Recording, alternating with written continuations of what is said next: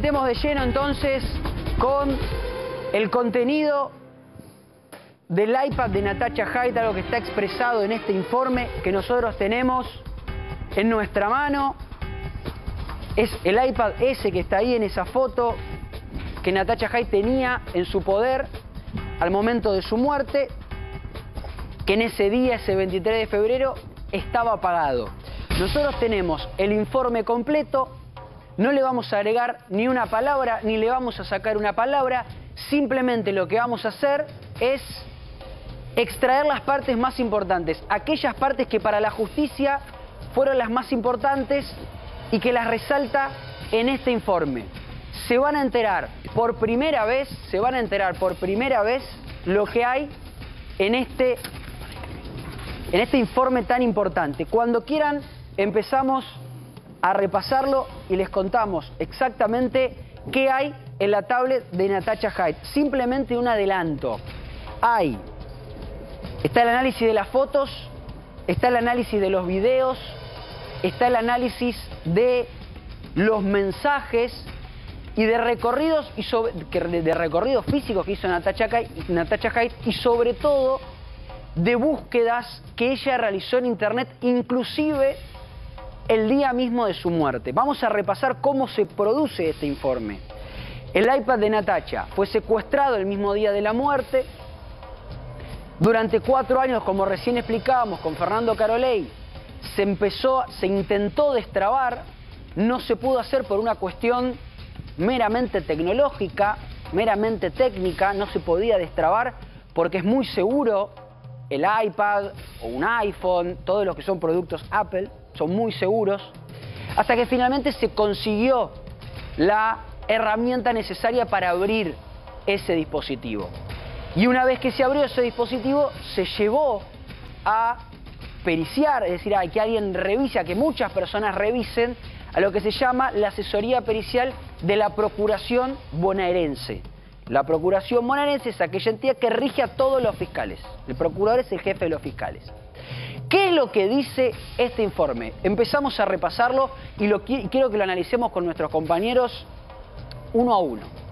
Empieza diciendo, en las cuentas de usuario nos encontramos con dos Gmail, es decir, con dos mails. natachahide622 y Natacha denuncia la pedofilia gmail.com. Así comienza el informe. También un hotmail nata.chahait.hotmail.com y en la red social de Instagram dos usuarios. Natacha Haidt con nombre de usuario Nat Haidt y otro como Romina Díaz con nombre de usuario Romy Malbec. Yo por lo menos es la primera vez que escucho que ella tenía otro Instagram. Sale en la pericia de la tablet. Y por último, en la red social Twitter, dos usuarios. Natacha Haidt y, Nat Natacha y agregan los peritos de la Procuración en esta hoja 1 de 30 que tiene este informe, no se encuentran elementos eliminados. Esto es muy importante porque siempre está la sospecha, y en este caso siempre estuvo la sospecha, de que acá se podían haber eliminado algunos elementos o que alguien manipuló el iPad.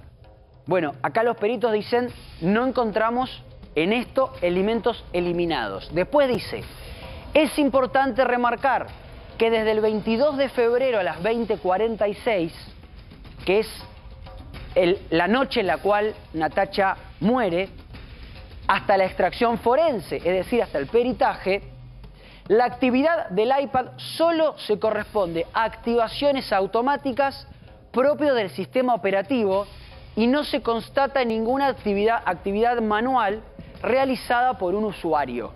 ¿sí? Dice, nadie la manipuló. Es lo que dicen los peritos. Que simplemente te pregunto esto, querido Fito Baqué. ¿Qué importancia o qué relevancia tiene que esto que estamos leyendo sea un informe no de la Fiscalía, no de un perito de parte, que sean los peritos de la Procuración bonaerense? ¿Qué entidad le da esto que estamos leyendo?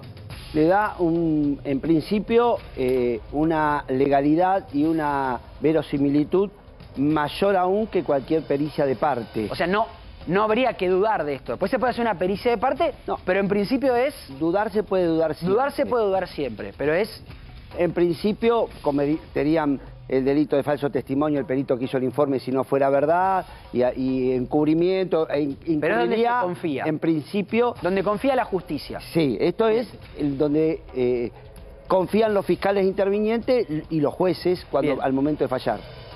Seguimos repasando y ya nos metemos en los datos concretos. Posee un total de 5.499 contactos pertenecientes a Twitter, Instagram, Gmail, TikTok y otras redes sociales. Y acá viene una explicación, porque hay dos contactos que resultan de interés para la causa. Una es Lisa Vera. Lisa Vera es la ex cantante de Bandana. Y el otro es un hombre llamado Marcelo Cresini. Y acá yo les quiero explicar por qué para la justicia estos dos contactos, el de Lisa Vera y el de Marcelo Cresini, son importantes. Algunos días antes de la muerte de Natacha Haidt, que se produce en la madrugada del 23 de febrero, Natacha y Lisa Vera, la cantante de bandana, y una especie de amigo representante que tenía Natacha llamado Raúl Velastiqui Duarte, asisten a un restaurante llamado Tía Niata, cuyo dueño es este hombre llamado Marcelo Cresini. En ese momento, Natacha le cuenta a este hombre, al dueño del restaurante, que quería hacer unos eventos y ese día o algunos días más tarde, el dueño del restaurante le da el contacto, le da dos opciones para que Natacha pueda hacer sus eventos. Una de esas opciones era el complejo de eventos Sanadú de, Sanadú de Benavides, donde finalmente ella muere. Ella luego genera el encuentro, va esa noche a tener una reunión de trabajo y finalmente muere. Dice, y seguimos repasando, por eso son importantes estos dos contactos en el informe. Además, existe un contacto en estado borrado que ha sido recuperado por las herramientas forenses que corresponden al Gmail tanto. Y después dice 50 conversaciones entre las aplicaciones de Instagram, Twitter y TikTok. Esto es importante porque aunque las, los elementos, mensajes, chat, audio, lo que sea, estén borrados, este aparato, evidentemente, por lo que dicen los peritos de la Procuración, los puede recuperar, lo cual es sumamente importante para este trabajo que se hizo, que es saber qué había dentro del iPad de Natacha Haidt. Pero sigamos avanzando. Existen 72 elementos en estado borrado que fueron recuperados por la herramienta forense. Acá cuando habla de elementos borrados se refiere a búsquedas en Internet. ¿Qué es lo que Natacha Haidt buscó en Internet? Corresponde a visitas del día 21 de febrero a las 23.34, que es el día anterior a la muerte. Esperen, esperen, volvamos a la... ahí está. Entra a páginas como Despegar, búsqueda en Google, búsqueda, busca en Google letra cacho castaña por esa puta costumbre, y busca en Google la palabra calculadora. Esto es importante ¿por qué? Porque los fiscales, ¿qué es lo que le dicen a los peritos de procuración? Busquen qué información hay de los días previos, qué búsquedas hizo ella, con quién habló, qué audios envió, como para poder entender si alguien la estaba persiguiendo, si ella tenía miedo de algo.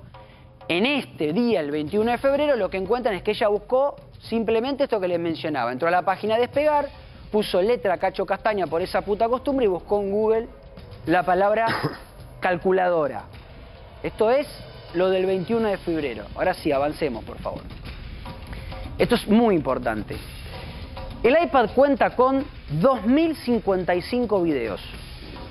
Imagínense lo que es revisar los 2.055 videos, Fito, porque el perito o los peritos cuando reciben el material tienen que ver todo, no pueden Tienen que verlo todo, Martín. Tienen que ver todo. los videos o sea, los peritos vieron 2.055 videos, entre los que se encuentran videos con sus hijos, su familia y videos que se la puede observar a Natacha Haidt hablando a la cámara sola, con pausas y cortes, de lo que se podría inferir que posteriormente serían editados. Es decir, había 2.055 videos. Pero acá dice se crea un subreporte, es decir, una carpeta con un nombre específico, en el cual se resguardan 18 videos del mismo tenor. ¿Qué quiere decir esto? Que dentro de los 2.055 videos hay 18, Fito, Carlos, que por algún motivo para la justicia eran importantes. Compartir esto que digo, Fito, con lo que estamos leyendo. Sí, ella... eh, Evidentemente, de todos los videos hay 18 que se guardan especialmente en esta carpeta porque evidentemente tienen algún valor distinto a los restantes. Para ella. Para ella. Para ella, esos videos tienen que tener algún otro significado. Bien, bien. Esto es importante. Sí, Carlos, quiero escucharte a vos. Sí, destacar... Y ya pasamos a la próxima placa, dale. Cuando se hace este tipo de, de investigación, cuando se baja, esto lo hicieron peritos que trabajan, hizo Gendarmería, estuvo Policía Federal también, cuando trabajan en este tipo de pericias, lo que hacen es, quiero destacar lo que decía Fito recién, ver cada segundo el tiempo que se tardó en tener este informe que de manera exclusiva hoy te estamos mostrando, es porque los peritos tuvieron que ver y darle conocimiento al juzgado. Porque el perito, Fito, no es que saca una conclusión, el perito lo que hace es como describir una foto. Ahí esto, ahí esto, el video Exactamente. tiene Bueno, esto. esto es lo que estamos viendo en este Exactamente. informe. Es una descripción que hacen los peritos. Ellos Los videos no- en tiempo real tienen que verlo, ¿eh? Claro, no lo pueden adelantar ni nada, en tienen que real. verlo. En ubicaciones del dispositivo se encuentran 5.563 ubicaciones, de las cuales 245 corresponden al 22 de febrero, es decir, al día de la muerte de Natacha. Se toma una captura de pantalla de la misma para mejor comprensión. Es decir, el iPad de Natacha iba marcando, se iba conectando o antenas o marcaba ubicaciones con el GPS que acá se reconstruyen. Y en esta reconstrucción que se hace de ese día, se marca que ella empieza en Palermo, que hace un recorrido. Acá en estos globitos hay números, que no se ve por la calidad de la foto, pero hay números, que es cada una de las ubicaciones que va marcando el iPad, y se genera un recorrido. Ese recorrido marca que ella fue desde Palermo, agarró Panamericana y terminó en la zona de Benavides. ¿Dónde? En el complejo Sanadú, que es donde finalmente termina muriendo. Esto es importante para los fiscales porque ¿qué reconstruyen con esto? ¿O qué querían saber los fiscales? Si ella había pasado por otro lugar. Claro. Si ella, en lugar de ir desde Palermo hasta Sanadú, había pasado por otro lugar. Encontraron que ella simplemente había frenado en una estación de servicio a comprar algo para el dueño de Sanadú del lugar, creo que unos cigarrillos o algo por el estilo. Esto, Fito, se complementa con el resto de la información que tiene la causa. Digo, no es solamente esto. Digo, esto es una causa, se va, es como un mosaico de pruebas que se va generando. ¿no? Correcto. Esta es la parte tecnológica. Se- Claro. Después debe coincidir con las declaraciones testimoniales de, por ejemplo, de los que iban con el auto con Natacha. Por ejemplo, exactamente. ¿Y qué pasó después cuando se encontraron en el propio lugar? Hay, y acá esto también es importante mencionarlo, 67.997 imágenes. Lo repetimos, los peritos tuvieron que ver 67.997 fotos. Inevitablemente tuvieron que ver las 67 68.000, pongámosle, las casi 68.000 imágenes. Es necesario remarcar que no existen elementos borrados en este ítem. Lo dice el informe.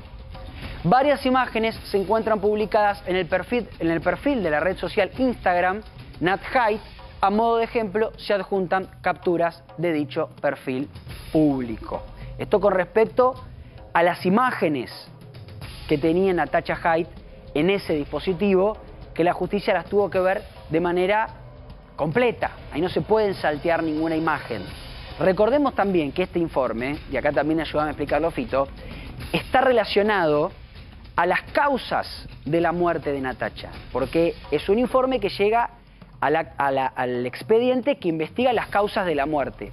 La justicia federal, el juez federal Ariel Lijo, solicitó una copia del material, no de este informe, una copia del material en crudo porque él lleva la causa que involucra a Marcelo Coraza. Como se habló que en el iPad de Natacha había información que podía servir para esa causa, la justicia federal pide una copia y la justicia federal va a hacer su propio análisis, que no necesariamente tiene que ver con este informe. Ellos van a buscar otras cosas, tendiente, por ejemplo, a la causa de pedofilia, de explotación infantil, que es donde se investiga a Marcelo Coraza. Son búsquedas diferentes que se hacen del mismo dispositivo. ¿Está bien, Correcto. Fito? Sí, sí, exactamente. Eh, vos podés en Y una causa... no, ya ahí la justicia federal no le va a pedir a la procuración, digamos, se lo va a pedir a, otro, a otros peritos. a- a- al perito con el juez tenga que el juez tenga Ahí confianza porque los jueces trabajan con los peritos o con la fuerza que, que- que le, le inspire la mayor confianza y va a buscar eh, temas relacionados con pedofilia. Todo lo demás lo va a ir pasando lo va a ir pasando lo va a mirar pero lo va a ir descartando. Donde detecte algo que tenga que ver con la red de lo que esté investigando lo va a separar en un nuevo informe. Va a hacer un nuevo informe. Va a ser un nuevo informe sí. que va a ser distinto a este. correcto. Porque este que nosotros estamos pasando tiene que ver con, con situaciones o cosas relacionadas a la muerte, no puntualmente a la pedofilia. Aunque, acá corregime si me equivoco, Claro. si el perito se cruza con algo relacionado a la pedofilia, también tiene que informarlo porque está viendo, por supuesto, un delito. ahí hay dos posturas A ver, dale, contame. eh, o el perito se aboca a buscar eh, lo que el juez le encomendó y únicamente, y es una de las posturas, y la segunda postura es que el perito, si encuentra algo relacionado con un delito, aunque no esté dentro de la incumbencia de, de su objeto pericial, lo tiene que notificar. Son dos posturas eh, totalmente distintas. Dos posturas totalmente distintas. También hay una conversación con un periodista deportivo donde Natacha Haidt, y ahora la vamos a leer en un ratito nada más, le cuenta a ese periodista deportivo que ella, que su salud estaba muy deteriorada. Ahora la vamos a leer, pero cuen- cuente, le dice a ese periodista deportivo que su salud estaba, sumamente deteriorada. Y esto, para los fiscales que investigan la causa, es importante, porque hasta el momento, y esto hay que decirlo con todas las letras, para los fiscales que investigan la causa, Natacha Haidt murió por el consumo de cocaína y sin que nadie haya participado de esa muerte. Es la información que surge de la investigación. ¿Estamos de acuerdo? Por supuesto que del otro lado está la querella, el particular damnificado, que en este caso es la familia Hay, que dice, para nosotros la mataron. Ahora, ¿qué dice la justicia ante esto? Bueno, las pruebas que tenemos hasta el momento, dicen los investigadores, son que murió por consumo de droga y que se murió sola. No es una opinión, no es una cuestión de fe esto, Fito, corregime si me equivoco, como te digo siempre, no es una cuestión de fe, sino que es una cuestión probatoria para la justicia. La justicia entiende eso hasta ahora. Ahora, si en este mensaje, si en este, en este, se me cayó una hoja, si en este eh, informe hubiese surgido alguna información o surge alguna información, ahora vamos a terminar de repasarlo, surge alguna información distinta y ahí hubiese cambiado el criterio.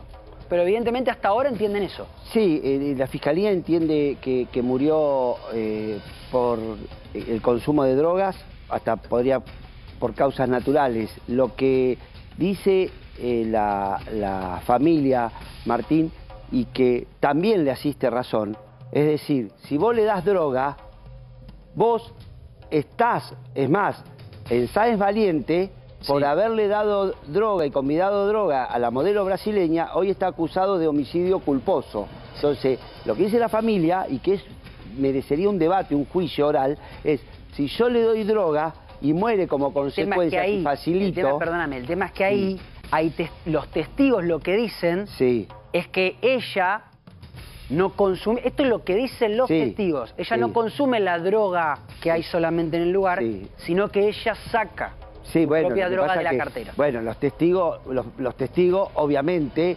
ninguno diría tomó de la que le dieron porque si, si no hay, ahí hay un delito. Igual están las dice- cámaras de seguridad también, ¿eh? Sí, eh, ahí, Martín, eh, hoy recién lo hablábamos y es verdad, Sí, es sí, la sí, noticia deseada, ¿no? Pero eh, es raro que alguien vaya, yo que nunca he tomado droga, no soy un experto, pero digo, nadie de los que toman droga toma droga de, de la que es de la propia solamente. Es como que es comunitaria la droga. ¿no? Eh, eh, Sí. Todo el mundo se sabe y es más, el, el adicto lamentablemente tiende a ser pródigo con la droga, con los bienes, por eso quedan sin dinero los adictos. Entonces, cuando a mí me hablan de que era, era eh, privatizada la droga, cada uno tomaba de la que tenía, a mí me hace ruido. A mí me hace ruido. No, no, no, por- pero pará, acá na- nadie dice que ella no pudo haber tomado. O sea, Bueno. lo que dicen los testigos es, Sí. ella en un momento Sí. saca de la cartera droga que ella había llevado. Sí, sí, sí. Eh, es que después hay cualquier abogado le diría eso. Después, ¿eh? Por supuesto. Después hay, otra, después hay otra situación que tiene que ver con las cámaras de seguridad. Pongamos el complejo, la foto del complejo Sanadú, que es el complejo donde finalmente Natacha muere. Es un complejo que ahora, si no me equivoco, sigue funcionando, pero con otro nombre. Hay una cámara de seguridad. Recordemos brevemente lo que pasa. Esa noche están sentados, comen sushi. En un momento, un hombre llamado Gonzalo Rigoni, que es el dueño de Sanadú, la invita a Natacha a recorrer el complejo, a mostrárselo. Suben unas escaleras y hay un pasillo largo que de un extremo tiene, si no me equivoco, un, jacuzzi. Y del otro extremo tiene la habitación principal. Hay una cámara de seguridad que enfoca directa, a mí me ha tocado verla esa cámara de seguridad, que enfoca directamente a la habitación. Cuando Natacha Haidt y Rigoni ingresan a la habitación, queda la puerta abierta. Por lo tanto, la cámara de seguridad muestra la habitación con la puerta abierta. El complejo Sanadú tenía unos, unos, ventanales muy grandes, o sea, esa habitación tenía ventanales de piso a techo. Y esa noche había una tormenta muy importante. Había mucha actividad eléctrica y muchos rayos y relámpagos. En la cámara de seguridad que enfoca la habitación y se ve el ventanal, por la actividad eléctrica se logra reflejar lo que estaba pasando adentro de la habitación. Y ahí se ve efectivamente lo que pasa adentro de la habitación. Por lo tanto, yo lo que digo es, están los, testigos, y también están las cámaras de seguridad. Que uno también podría preguntarse, y se lo preguntaron los fiscales, ¿por qué hay tantas cámaras de seguridad? Porque estaba, había como veintipico cámaras de seguridad. La explicación que da Rigoni, el dueño de Sanadú, es que él era una persona adicta a la cocaína, que tenía eh, una paranoia muy importante y que por esa paranoia que tenía se sentía perseguido. Y como se sentía perseguido, puso un montón de cámaras de seguridad. Es la explicación que da de por qué había tantas cámaras de seguridad. Digo, todo esto es lo que conforma lo que veníamos hablando, Fito, la prueba completa, el testimonio, la cámara de seguridad y ahora esto que estaba mostrando que es lo de la tablet. Yo no sé, Fito, si hay cosas que sean más importantes que la otra. ¿Qué otra? un testimonio es más importante que una cámara, una cámara es más importante que... No lo sé, decime vos, pero en principio son todas pruebas. Son todas pruebas y después el juez elige a qué... Porque hay pruebas que se contraponen o contradicen y después el juez elige a cuál le cree. Hay un testigo que dice pasó en rojo y el otro dice pasó en verde y el juez elige a quién le cree. Sí, claro, pero sin embargo, Fito, sin embargo vos sabes muy bien que en el momento de la testimonial, si es testimonial, el juez en el mismo momento puede decidir mandarlo preso si miente por un falso testimonio. Pero además, tener en cuenta que este material que estamos conociendo hoy, que Martín está contándote a vos que estás en casa, es un material que es irrefutable. No pueden decir eh, no, no, tenía, no había ninguna foto. En un momento el hermano decía, están diciendo que no hay ninguna foto, que no hay nada. Hay 50 gigas de material. Sí, leímos el número. ¿Cuánto era? Ya me olvidé. 69 mil fotos. 69 mil fotos. 69, 67, no me acuerdo cuánto leímos recién. Miles de videos también.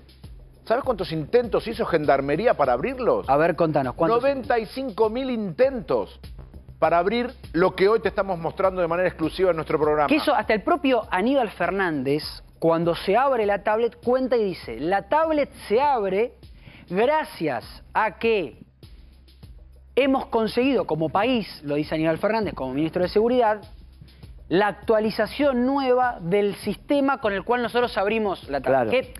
para que, a ver, para que se entienda esto, cuando el ministro de Seguridad dice nosotros conseguimos la actualización, no es que la descargaron de internet. No, ¿Cuánto hubo que pagarla. ¿Cuánto? Claro. Estamos hablando de miles y miles y cientos de miles de dólares. Y no es un tema, no es un tema, entre, no es un tema entre privados tampoco. ¿eh? es el Estado argentino que compra esa tecnología y con esa tecnología pueden abrir. De hecho, ¿cuántas causas hay en la Argentina con iPad o con iPhone que nunca se pudieron abrir? Yo conozco muchas. Ah, hay muchas, a partir de, esta eh, incorporación de esta tecnología se van a empezar a abrir mucho más. Pero, ¿te puedo contar una anécdota, Martín? de Sí, una dale, mirá que seguimos con sí, esto, Sí, pero ¿eh? te Sí, cuento para dale. que tengas el concepto de la pericia. Hace muchos años eh, un amigo mío defendía en una causa de robo a una persona y se comunicaba con las hermanas del detenido. Las hermanas del detenido vendían droga. Sí. Caen detenidas las hermanas y el abogado tenía algunos, algunas charlas inadecuadas con, con- con- con las hermanas. Entonces cuando se presenta le dicen "¿Cuál- eh, cuáles son los elementos de prueba y dice escuchas telefónicas. Cuando va a ver el informe, que sería esto, el abogado, que espera encontrar sus escuchas entre él y las hermanas respecto al robo del hermano, Sí. ¿Sabés qué decía la pericia? ¿Qué? Conversación entre Claudia y el, y el doctor Pirulo Pérez. Sí. Conversación sin interés para la causa. ¿Estás escuchando? Sí. Conversación sin interés la- para la causa. Eso mismo era evidencia en un robo, pero como no era en la investigación de la- narcotráfico. del narcotráfico, entonces... Bueno, hay un Ah, tema, está muy bien cuidado, lo que Fito. lo Hay aviso. un tema que se dispara a través de lo que estamos conociendo, que Sí. es, ¿se pueden abrir otras causas que sean no vinculadas a la, a la muerte de Natacha Jaid? Bueno, por eso yo decía, la justicia federal tiene una copia de esto. Y a mí Ahí. me lo han confirmado. Y la justicia federal va a buscar si efectivamente en esa tablet, e inclusive también, si no me equivoco, eh, se han llevado una copia del celular, no estoy seguro si del celular, pero de la tablet seguro, se llevaron una copia en crudo y la van a analizar. Y ahí van a ver si efectivamente hay algún material que tenga que ver con algún hecho De pedofilia. o con algún hecho de, este, de abuso sexual infantil. Ahora, en estas 67.997 imágenes, evidentemente, y siempre creyendo en los peritos de la Procuración, no lo encontraron. Porque si no lo tendrían que haber denunciado. Mm. ¿O no? De- depende si están investigando solamente de la muerte, porque puede haber... vos como perito Sí. ves, están investigando sobre como la muerte, ves un delito, Te lo dije, te lo conté recién en el caso que yo te conté. Bueno, había un delito entre el abogado Está y- bien, y- pero entre el abogado y la hermana, había un delito y decía sin interés para la causa, Martín, porque son dos criterios. Puede haber habido, sí. no ponerlo en el informe porque no tiene nada que ver con, con la muerte y sin embargo notificarlo igual. Fuera del informe, Sí. fuera del informe. Cuidado, no lo sabemos, yo no lo sé. ¿Tiene obligación de denunciar en ese caso? Yo Porque entiendo- solo los delitos de índole sexual son Yo, privados. no, no, yo entiendo que si hay de pedofilia tiene obligación de denunciar, pero puede ser que no esté en este informe, porque en el informe está haciendo una descripción respecto de lo que hay y de posibles eh, situaciones respecto a la muerte, Respecto no a a la pedofilia. Ujú.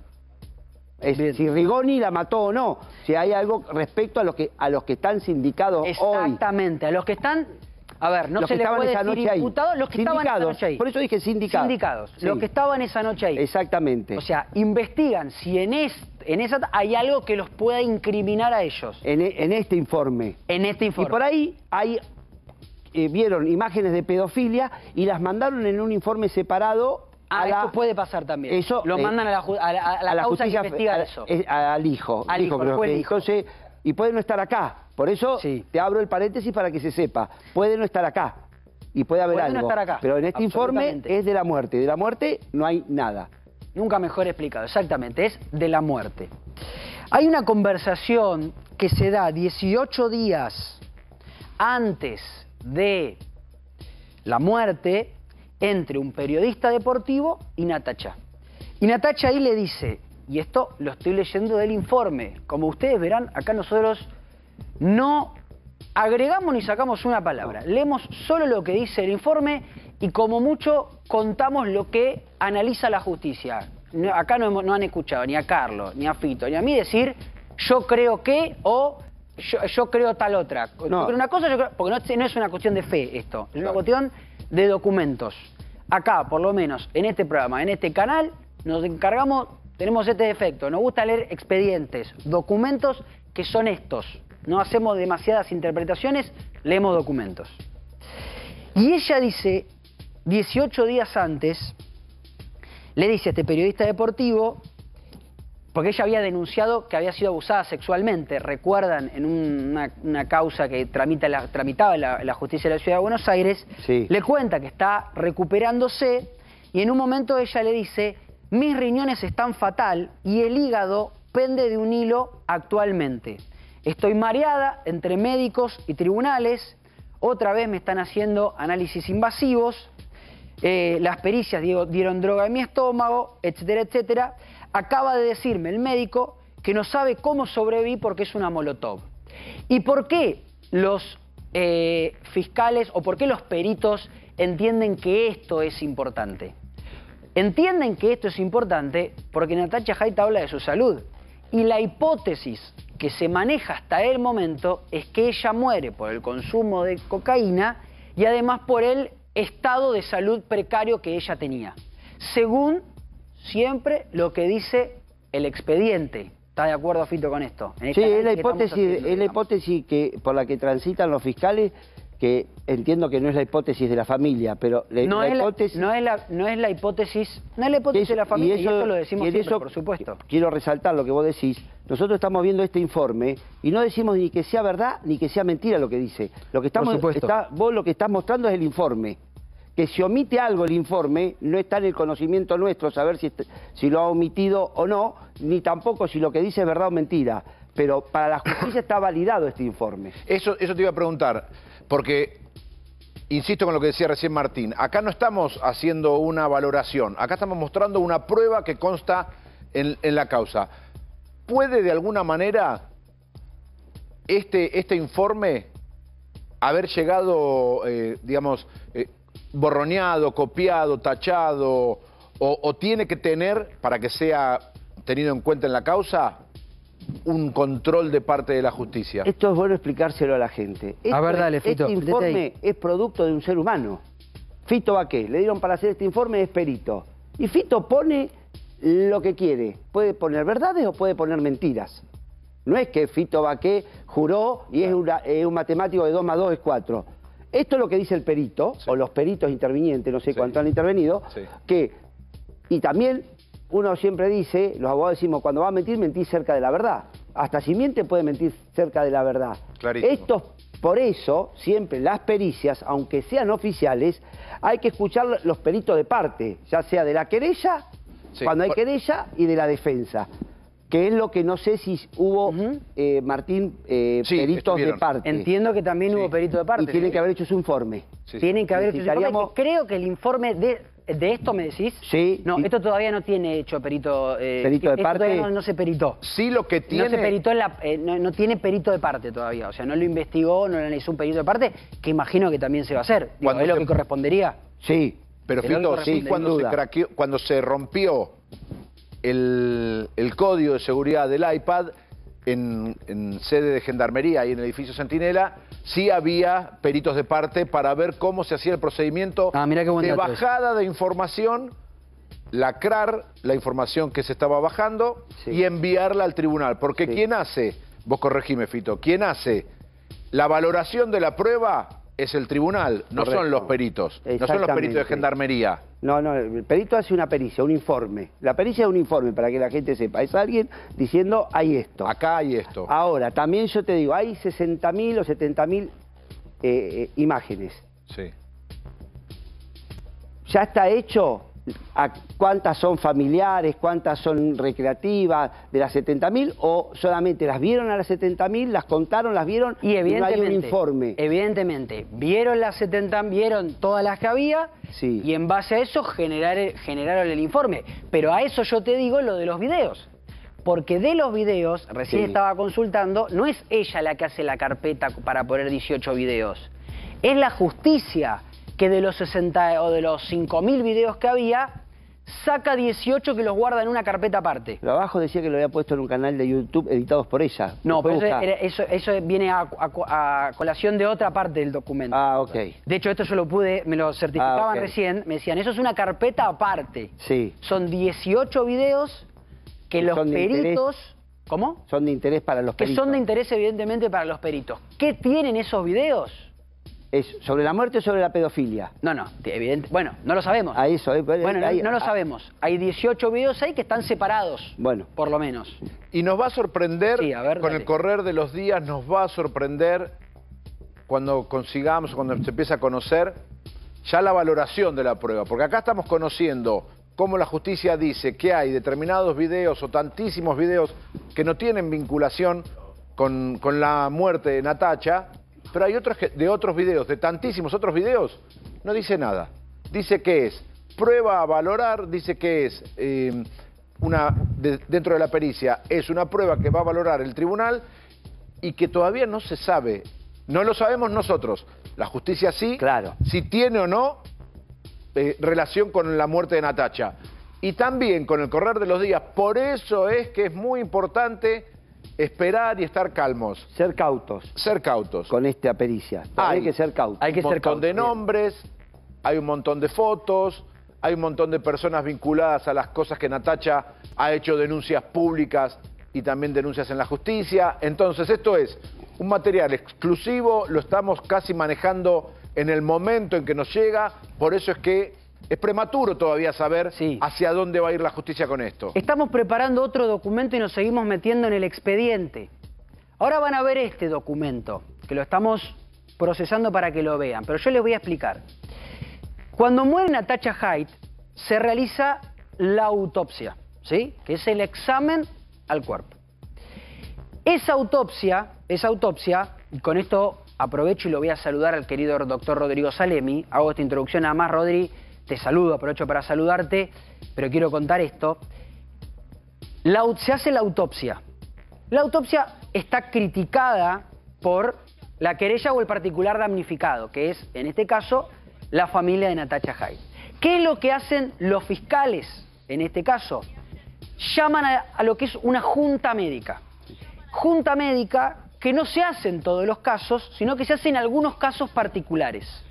En el caso Maradona, Fito Baqué lo sabe, se hizo una junta médica. Correcto. Acá también se hizo una junta médica.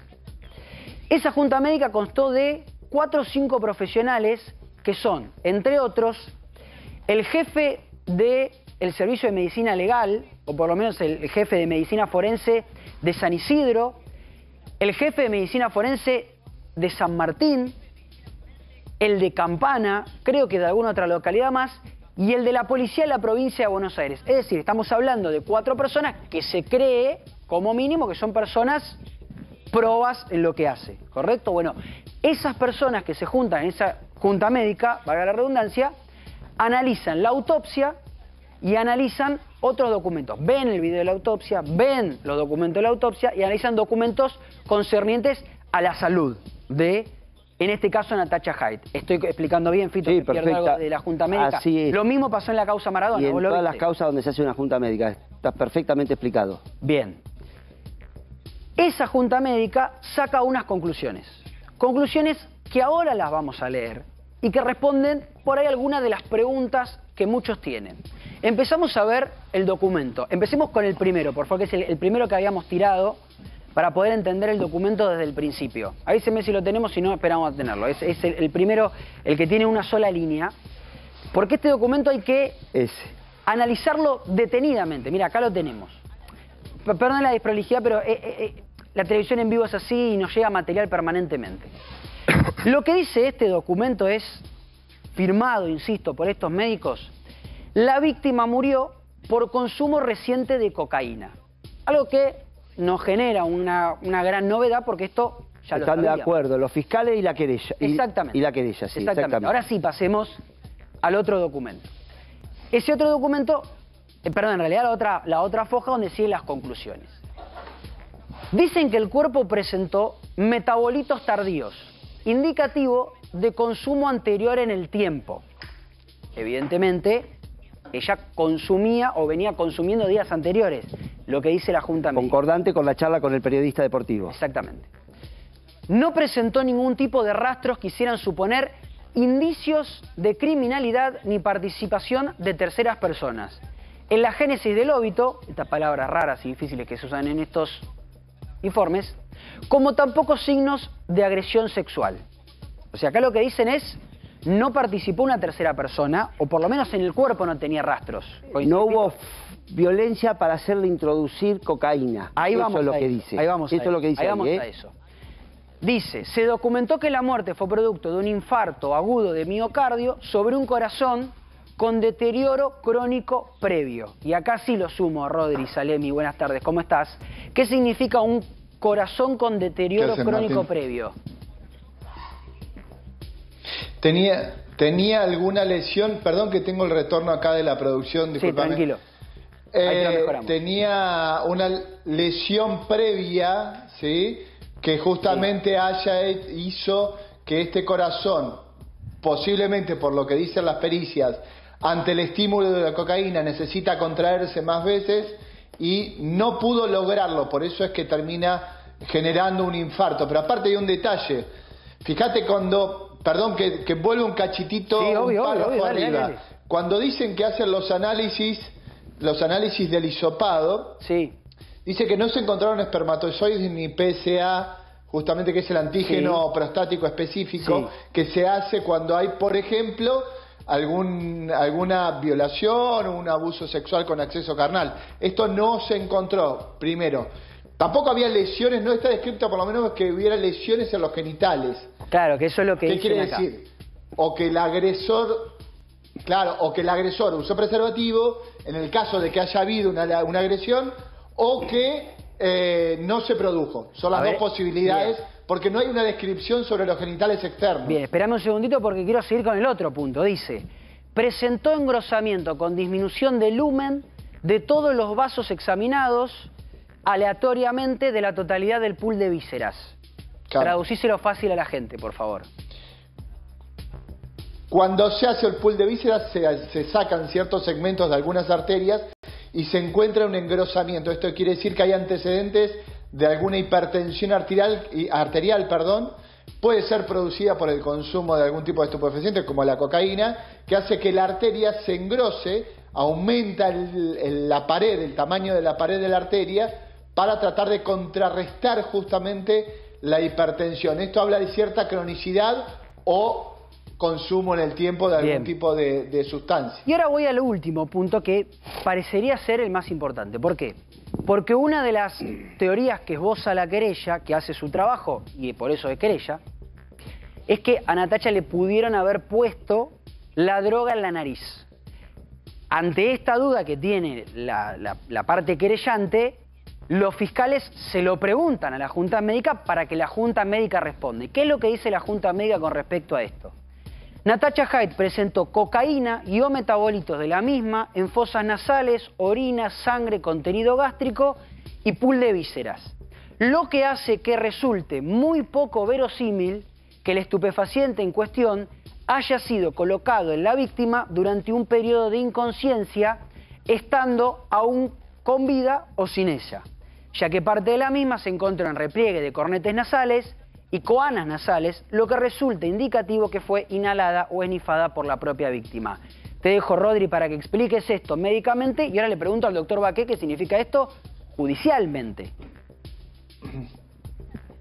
A ver, desde lo médico, acá hay un consumo justamente de cocaína previamente al fallecimiento. ¿Por qué? Porque si no, no obtenés metabolitos en orina, ¿sí? no obtenés metabolitos en sangre. Metabolitos es cuando se va procesando la droga a través del cuerpo y va dejando los residuos. Y esto es lo que se detecta tanto en orina como en la sangre, porque se pensó que le habían colocado la droga con la mano mientras ella estaba inconsciente. Claro, era una de las hipótesis. Hay algo, un detalle que dice, claro, que dice bien la Junta Médica es que encontraron en los cornetes, si vos no respirás profundamente, si vos no inhalás profundamente, la droga nunca va a llegar al espacio de los cornetes, que es un espacio muy difícil de llegar solamente si vos apoyás algo acá en la nariz. Por eso habla de los repliegues de, de la nariz y los cornetes que están adentro, que son los uno, como, unos, eh, como unas prominencias que tenemos dentro de la nariz que comunican con los senos que tenemos acá al lado, por debajo de los ojos, que son los senos nasales. Entonces, eh, todo esto quiere decir que evidentemente hubo un consumo activo previamente al fallecimiento y eh, no solamente una colocación pasiva cuando ya una persona se encontraba inconsciente de la cocaína en la nariz. Como verán, hasta ahora seguimos repasando los documentos del expediente. Seguimos sin este, apartarnos de eso que es nuestro horizonte, el expediente y los documentos. Ahora te pregunto, Fito, leída todas estas conclusiones, vos como abogado, y si querés, si fueses un abogado de la querella, o no, te te pones un abogado, tu, opinión por afuera, digamos, Sí. para hacerlo más sencillo. Sí. ¿Qué ves acá en esto, en estas conclusiones? Primero, vos decís se puede dudar de todo. La No, autopsia, la junta sí. médica, ¿también se puede dudar de esta junta médica? Ya no, porque ya intervienen varias personas, eh, debe haber habido perito de parte o ha existido la posibilidad de que Sí, exista existir. perito de parte, bueno, ya empieza un mayor control, ¿está? Eh, pero te voy a decir, lo que yo veo acá es que en, el, en la génesis, o sea, en el inicio del óbito, que es en el inicio de la muerte, Sí. no hay participación criminal de terceros. Eso lo dice la, la conclusión. O sea, no fue agarrada, no fue violada, no hay signos de, de violencia que, se, que es concordante con lo que dice al final, que no tiene cocaína eh, introducida o por la fuerza o mientras estaba muerta, sino que al final dice que la cocaína fue aspirada voluntariamente por Natacha. Sí. Esto es lo que termina de decir la, la- la pericia. Cuando dice, cuando está en el, en- en el corneto, es indudablemente que fue aspirada voluntariamente. Entonces, se descarta una de las hipótesis que podría haber, como querella, de que la mataron y después quisieron eh, fraguar su muerte Pero para, porque simulando. me pongo del otro lado de Dios. Sí. Vos me dijiste recién que se dudaba de todo. Sí. Ahora, ¿también tengo que dudar de esto o ya que esto lo firme? El jefe de medicina eh, medicina legal, no sé si lo estoy diciendo bien con la... Sí, jefe de de medicina de San sí. Isidro, Sí. de San Martín, de Campana y No. de la policía de la provincia de No, Buenos ya, Aires, ya tiene una mayor certeza que, que esta otra pericia, Martín. Que la autopsia, mayor- digamos. Sí. Eh, la autopsia tiene mucha mayor certeza por la cantidad de participantes que hay de distintas ramas y que además debe haber tenido perito de parte. Pericio de parte, sí. Ahora, Peritaje de parte. lo que queda es una segunda hipótesis como querella que yo, si quiero decir que a Natacha la mataron, y estoy convencido o creo, es cómo fue el consumo de la cocaína estando en vida. Ya está. Con esto se descarta que haya sido por la fuerza o estando muerta. Son las dos hipótesis que me descarta esta pericia. Lo que no me dice si fue invitada, provocada, si la droga era de Natacha, como me quieren decir que es una, que, que es Obligada. una droga eh, eh, Sí, capitalista, o sí, como yo pienso que la droga siempre es, que es comunista, que consumen todos la de todos. Entonces, eso est- esta pericia no me dice. Bueno, me mira, deja acá una sola bien, hipótesis. pero pe- perdón, Sí. solamente para hacer la aclaración, para hacerlo más justos Sí. con la información, Sí. los que firman son el comisario mayor, director de medici- medici- medicina legal de la provincia de Buenos Aires, de la policía de la provincia de Buenos Aires, comisario inspector jefe del cuerpo médico de San Martín, comisario inspector jefe de la morgue de La Plata, comisario inspector, no, perdón, oficial ayudante jefe del cuerpo Zárate Campana y oficial subdirector jefe cuerpo médico de San Isidro. Todas grandes eminencias y, y- y especialistas en el tema cada uno. Sí. Así que, eh, por eso te digo, esta autopsia como pericia tiene una... Esta junta médica. Claro. sí, esta junta médica tiene una, una validez La- mucho mayor. Espera que te quería preguntar algo, Carlitos. Este, Doc, ¿cómo te va? Carlos Estrella te saluda. Preguntarte, porque yo estuve con Ulises y él contó que la hermana, tres, cuatro, cinco meses antes de la muerte, se había hecho un estudio de salud exhaustivo. Y que nada de esto, palabras de Ulises, ¿eh? Y que nada, ni, ni engrosamiento, ni, ni que el corazón per- tenía un deterioro crónico. Digo, ¿En seis meses se podía deteriorar el físico de esta manera o en cinco o seis meses tenía que haber salido que ya ella tenía un desgaste físico no normal? Va a depender de qué estudios se les realice, porque vos pensás que, a ver, la, operación autopsia es lo más específico que existe, la, la mejor manera de evaluar. Suena cruento, suena tremendo, pero la mejor manera de evaluar cuál es el estado de un corazón es teniéndolo en la mano y haciéndole la autopsia. Lamentablemente es así, no hay ningún estudio que te evalúe. A ver, Clarísimo. no tenemos información de cuáles fueron los estudios que se realizó, Está ¿me claro. entendés? previamente. Puede ser que tenga una afectación crónica y no estén en los estudios eh, Que sí surgen en la de esta- autopsia. de, de Natacha y sí y, y sí surgen en la autopsia. Por ejemplo, el engrosamiento de las paredes de las arterias es muy difícil de evaluar con métodos de diagnóstico que no sean del todo invasivos. Entonces, eh, tenemos que tener en cuenta esto. Obviamente que la autopsia es lo que termina determinando. Y hay algo que quería decirte con respecto a lo que estaba diciendo recién Fito. Y, eh, a ver, el análisis que hicieron los médicos es un análisis de un cuerpo y de un hecho que estaban investigando. No pueden hacer análisis de voluntades. Los cinco médicos que firman la, junta médica que hace, claro, que hace la evaluación autopsia, son eh, excelentes profesionales en la materia y yo los conozco a los cinco. Eh, no, no, se puede, no se puede reprochar nada de lo que hicieron, pero bueno, hay cosas que las voluntades no se pueden evaluar con una operación autopsia. Por supuesto. Rodri, muchísimas gracias. ¿eh? Abrazo grande. 17.22 en la República Argentina. Ya vamos a seguir repasando. Hay más, por supuesto, de esta causa, pero ahora nos tenemos que ir.